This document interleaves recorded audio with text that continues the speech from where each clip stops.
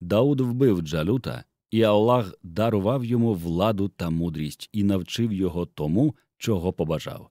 Якби Аллах не стримував одних людей іншими, то на землі ширилося б нечестя, та Аллах володар великої ласки для світів.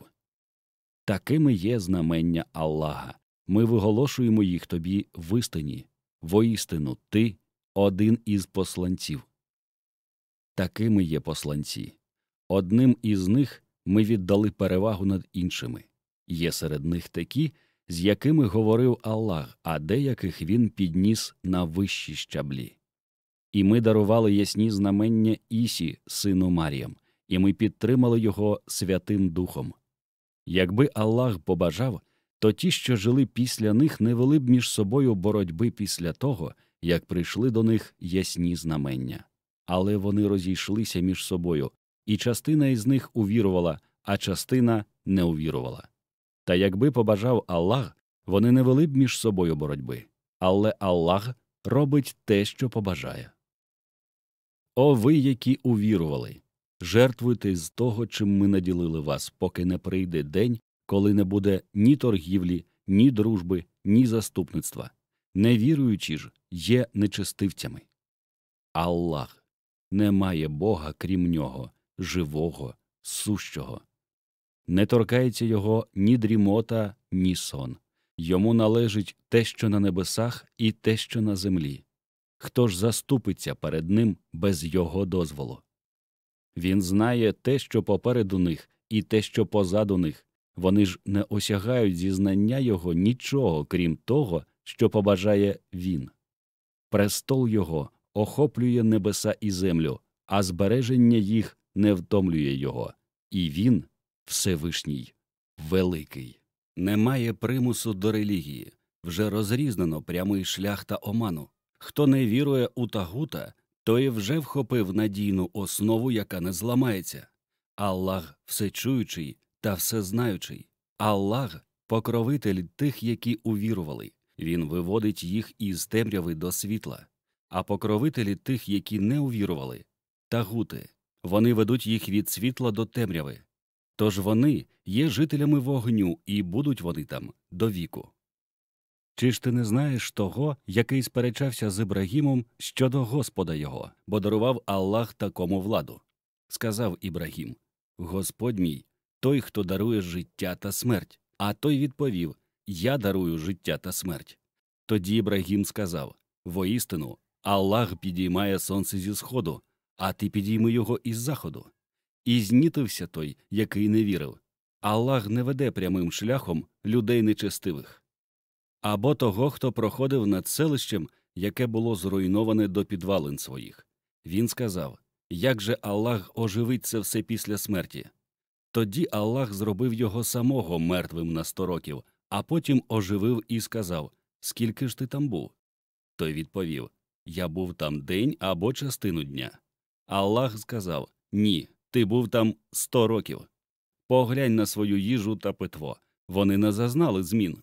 Але поглянь на свого віслюка. Ми неодмінно зробимо тебе знаменням для людей. Тож поглянь на кістки, як ми зберемо, а потім вкриємо м'ясом їх.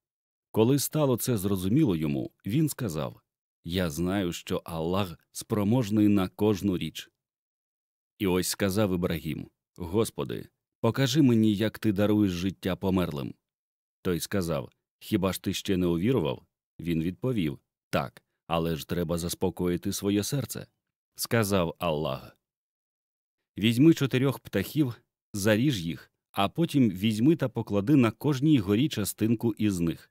Після цього поклич їх, і вони з'являться перед тобою, поспішаючи. Знай, що Аллах великий, мудрий. Прикладом тих, які жертвують майно своє на шляху Аллаха, є зернина, з якої виросло сім колосків, а у кожному колоску сто зернин. Аллах дає більше тому, кому побажає. Аллах всеосяжний, всезнаючий.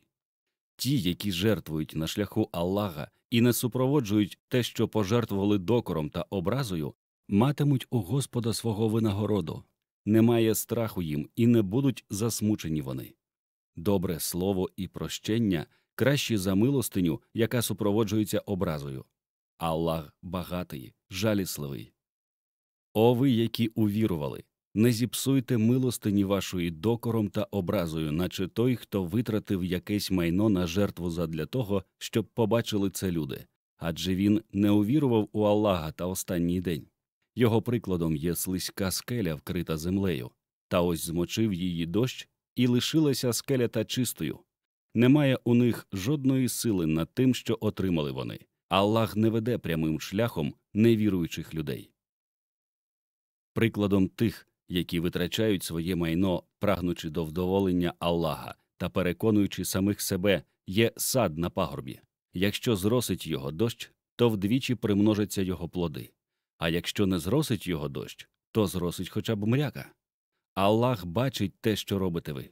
Невже хтось із вас хоче, якщо буде у нього сад із пальмами та виноградником, де будуть текти ріки і будуть різні плоди, щоб торкнулася його старість, тоді як діти ще будуть слабкими, а сам сад вразить вихор, у якому цей сад і згорить? Ось так Аллах пояснює вам знамення, можливо, замислитися ви. О ви, які увірували, жертвуйте ті блага, які отримали ви, а також те, що ми проростили для вас із землі. Але не бажайте давати у жертву погане, те, що ви й самі не узяли б, окрім як заплющивши очі. І знайте, що Аллах багатий, хвалимий. Шайтан лякає вас бідністю і закликає вас до розпусти, а Аллах обіцяє вам прощення та ласку свою. Аллах всеосяжний, всезнаючий. Аллах дарує мудрість, кому побажає, а кому дарована мудрість, тому дароване велике благо. Але згадують це лише обдаровані розумом. Щоб ви не витратили як милостиню, або яку обіцянку ви не дали б, то воістину Аллах знає про це, але нечестивим не буде помічників. Якщо ви даєте милостиню відкрито, то є добром вона, а якщо ви приховуєте її та даєте нужденним, то це краще для вас. Аллах пробачить вам деякі злі вчинки ваші, та Аллаху відомо те, що ви робите. Не твій це обов'язок вести їх прямим шляхом. Це Аллах веде прямим шляхом того, кого побажає, а те добро, яке жертвуєте ви, це ж для вас самих. Жертвуєте ви це лише прагнучи до лику Аллаха, а за те, що витрачаєте ви, відплатять сповна вам і не вчинять із вами несправедливо. Це для нужденних, які затрималися на шляху Аллаха або й не можуть пересуватися землею. Невіглас вважає їх багатими через скромність їхню, але ти впізнаєш їх за ознаками їхніми. Вони не вимагають у людей милості і з настирливістю, а про те, що жертвуєте ви зі свого добра, Аллах знає. Ті, які витрачають як милостиню своє майно вдень і вночі, потаємно та відкрито, матимуть винагороду у Господа їхнього. Немає страху для них і не будуть засмучені вони. А ті, які пожирають лихву, воскреснуть лише так, як ті, кого своїм дотиком вразив шайтан. Це так, адже вони казали торгівля схожа на лихварство. Та Аллах дозволив торгівлю, але заборонив лихварство.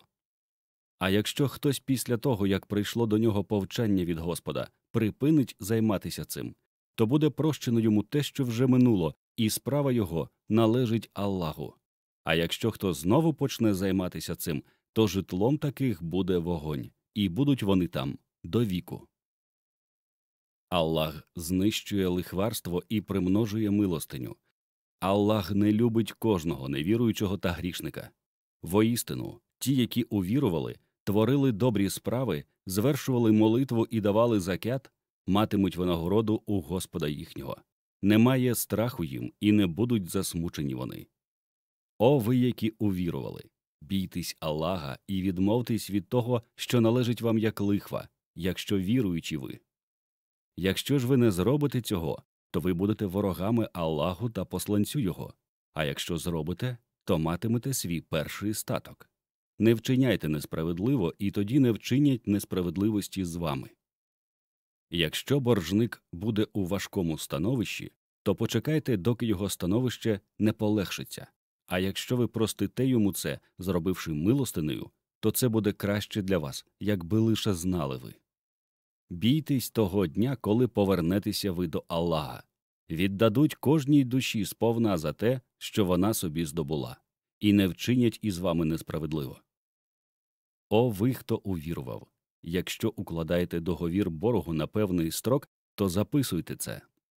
І нехай писар записує це справедливо, нехай не відмовляється записати його так, як навчив Аллах, нехай пише, а той, хто отримує позику, нехай диктує йому і нехай боїться Аллаха та не применшує там нічого. А якщо той, хто бере в борг, нерозумний або кволий чи не може диктувати, то нехай диктує його опікун. Покличте двох свідків із ваших чоловіків, а якщо не буде двох чоловіків, то нехай буде один чоловік і дві жінки, яких ви згодні взяти за свідків. Якщо перша помилиться, то друга нагадає їй. Нехай свідки не відмовляються, коли їх запрошують, і не нехтуйте записувати угоду, малу чи велику, із зазначенням її терміну. Так буде справедливіше перед Аллахом, надійніше для свідчення та краще для уникнення сумнівів. Однак, коли це буде торгівля з розрахунком готівкою на місці, то не буде вам гріха, якщо не запишете цього. Але кличте свідків, коли укладаєте між собою торговельні угоди. Не можна кривдити ні писаря, ні свідка, а якщо зробите так, то буде вам гріх. І бійтесь Аллаха, Він навчає вас. Аллах знає про кожну річ. А якщо ви опинитесь у дорозі та не знайдете писаря, то беріть заставу, яку можна взяти до рук. І якщо один із вас довіряє іншому, то нехай той, кому щось довірено, поверне довірене йому, і нехай боїться Аллаха, Господа свого. Не приховуйте свідчення, а хто приховує його, той у своєму серці є грішником. Аллах знає про те, що ви робите. Аллаху належить те, що на небесах і на землі. Покажете ви те, що у душах ваших чи приховаєте його, Аллах відплатить вам. Він дарує прощення кому побажає і карає кого побажає. Аллах спроможний на кожну річ. Посланець увірував у те, що зіслано йому від Господа його, а разом із ним віруючі. Усі увірували в Аллаха, в ангелів його, у книги його, у посланців його. Ми не проводимо межі між посланцями. Вони говорять слухаємо та підкоряємось. Даруй нам прощення, Господи наш, і до Тебе повернення. Аллах не вимагає від людини понад можливості її. За неї те, що здобула собі вона, і проти неї теж те, що здобула собі вона, Господи наш. Не карай нас за те, що забули ми або в чому помилилися. Господи наш, не покладай на нас тягаря, який поклав ти на тих, які жили раніше за нас, і не покладай на нас того, на що не вистачить сил. Вибач нам, прости нас і змилуйся над нами. Ти захисник наш, тож допоможи нам проти невіруючих людей.